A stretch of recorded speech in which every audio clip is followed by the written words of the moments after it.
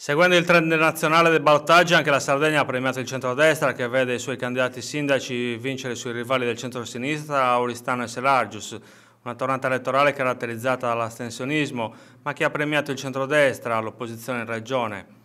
Il nuovo sindaco di Oristano è Andrea Luzzo che ha ottenuto il 65,3% dei voti contro il 34,7% di Maria Obino, candidata del centro-sinistra.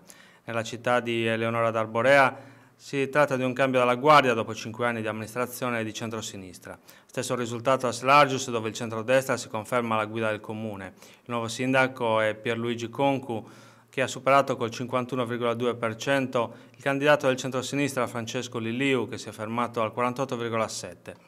Ora i risultati di Oristano e Selargius saranno al vaglio dei partiti sardi anche per i riflessi che potrebbero avere sulla solidità della coalizione che guida la regione. Il centrodestra ha sottolineato il successo ottenuto e già si proietta verso le elezioni regionali del 2019. Per il centro-sinistra si tratta di una battuta d'arresto che fa male, specie a Oristano. Risultati che rischiano di accrescere le fibrillazioni in una maggioranza di centro-sinistra che dovrà affrontare sfide importanti in Consiglio regionale, a partire dall'approvazione della legge urbanistica che approda domani in aula.